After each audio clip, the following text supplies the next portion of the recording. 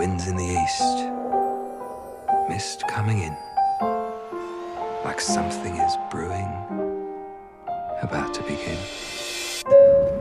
Ladies and gentlemen, we are beginning our descent into Los Angeles. Welcome, Mrs. P.L. Travers, to the City of Angels. It smells like Jasmine. chlorine and sweat. Introducing the creator of our beloved Mary. Poppins. Never ever just Mary. Now, where is Mr. Disney? She's here. Well, Pamela Travers, you can't imagine how excited I am to finally meet you. Would you mind? My name is Mrs. Travers, Mr. Disney. Oh, Walt, now you gotta call me Walt. Twenty years ago, I made a promise to my daughters that I would make your Mary Poppins fly off the pages of your books. I promised them, Pam. I know what he's going to do to her. She'll be cavorting and twinkling. You can't make the film unless you grant the rights. Now. Now, let us begin.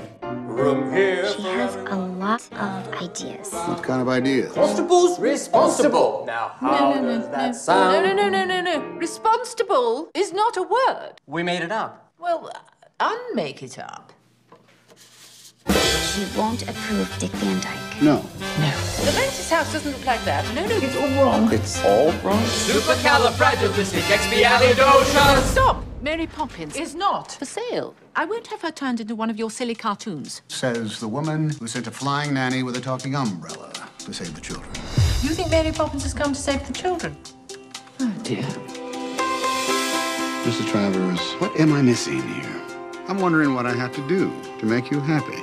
You know, you've never been to Disneyland, and that's the happiest place on earth. No, no, no, no, please. Well, when does anybody get to go to Disneyland with Walt Disney himself? There he is. Where did she come from? Mary Poppins and the Bankses. They're family to me.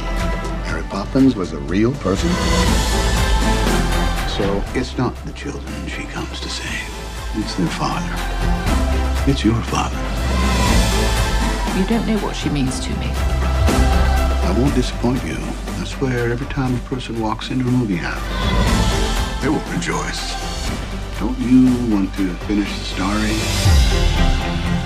The boys have come up with an idea. I think it's going to make you happy. You didn't bring me all the way here to tell me that. Oh, no, I had a wager. I couldn't get you on a ride. I just won 20 bucks.